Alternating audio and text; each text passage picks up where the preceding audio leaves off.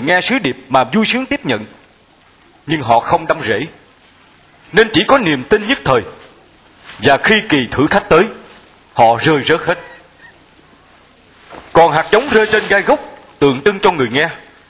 Nhưng nỗi lo lắng, giàu có và sự quan lạc đời này bủa vây làm cho ngạt ngòi. Và nó chẳng hề kết trái được.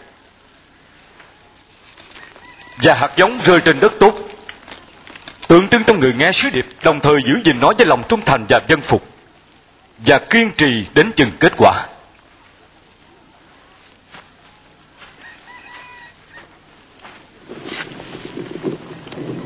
Không ai thắp đèn mà lấy chậu úp lại, hoặc để nó xuống gầm giường, thay vì phải cắm nó trên giá đèn. Hầu cho ai nấy khi bước vào đều có thể thấy ánh sáng. Điều che giấu nào cũng sẽ được đưa ra công khai. Điều bưng bít nào cũng sẽ được tìm thấy và đưa ra ánh sáng. Hãy cẩn thận về cách mình nghe. Vì ai có sẽ được cho thêm. Ai không có cũng sẽ bị lấy luôn ngay cả điều nhỏ bé mà họ tưởng mình có.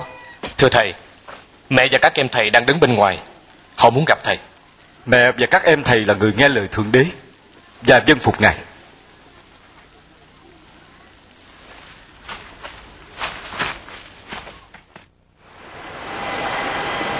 Một hôm, Chúa Giêsu xuống thuyền với các môn đệ và bảo họ: Chúng ta hãy qua bên kia bờ hồ.